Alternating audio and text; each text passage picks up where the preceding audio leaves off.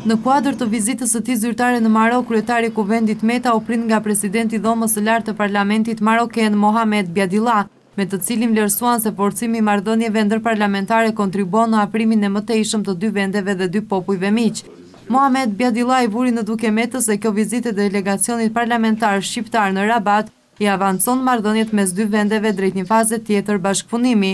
Në këtë kuadër, Dhoma e Këshilluesve të Marokut do të mbështesë intensifikimin e kontakteve parlamentare mes grupeve reciproke të miqësisë dhe në forumet ndërkombëtare, ndërsa kryetari i Kuvendit Meta bëri një vlerësim të veçantë për reformat e mëdha që janë ndërmarrë në Marok gjatë viteve të fundit. Në këtë drejtim u nda bindja se forcimi i bashkëpunimit multilateral mes Marokut dhe Shqipërisë në planin ndërkombëtar i konsolidon më tej përpjekjet e përbashkëta në luftën kundër terrorizmit dhe për rritjen e parametrave të sigurisë në botë, duke i shërbyer prosperitetit të dy popujve miq. Kryetari i Kuvendit Meta është pritur edhe nga presidenti i Parlamentit të Marokut, Rashid Alami, i cili vlerësoi marrëdhëniet tradicionale dhe miqësore mes dy vendeve. Rashid Alami nënvizoi se vizita e Metës në Marok hap një faqe të re në forcimin e marrëdhënieve mes dy vendeve në të ardhmen.